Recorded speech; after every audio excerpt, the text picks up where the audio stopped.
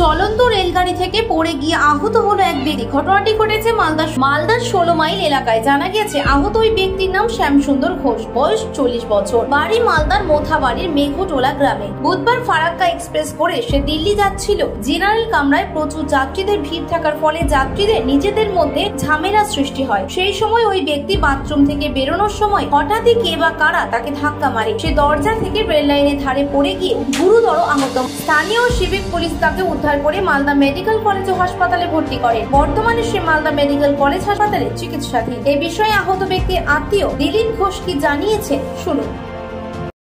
Farakka express করে দিল্লি যাচ্ছিল। কি গন্ডল হয়েছে ওকে?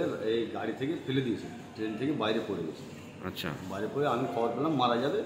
আমি দেখতে আসলাম। আচ্ছা। এর বাড়ি মেঘটোলা ও শ্রমিকের কাজে দিল্লি যাচ্ছিল। আচ্ছা। শুনতে পেলাম বাথরুম যাচ্ছিল বাথরুম থেকে বাথরুম যাচ্ছিল তার মধ্যে ওকে ফেলে দিল। হ্যাঁ। এটা শুনলাম ফেলে দেওয়ার পরে আমি রাত ভোর চারটার সময় খবর পেলাম ও খুব খারাপ হয়ে সিরিয়াস ওখান থেকে সিভিল পুলিশে ওকে মালদা মেডিকেলে ভর্তি করল। ভর্তি করে আবার ফোন করল আমাদের বাড়ি ওর বাড়ির ফ্যামিলি ফ্যামিলি যে ফোন করল কি অবস্থা খুব খারাপ আমি দেখতে আসলাম। আচ্ছা। আমি মাথায় চোট লেগেছে মাথাতে আঠাশটা তিরিশটা সিলাই আছে। কোথায় লেগেছে? মাথায় লেগেছে মাথায় আঠাশটা সিলাই আছে। আর শরীরে লেগেছে জামা কাপড় তো ছিঁড়ে আছে পাথর টাথর লেগেছে জামা কাপড় সব ছিঁড়ে আছে। চলন্ত ট্রেন থেকে ফেলে দিয়েছে ওকে।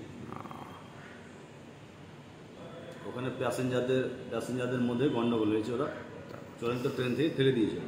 আচ্ছা। আপনার নাম? আমার নাম Dilip Ghosh. Fourteen timeline Malda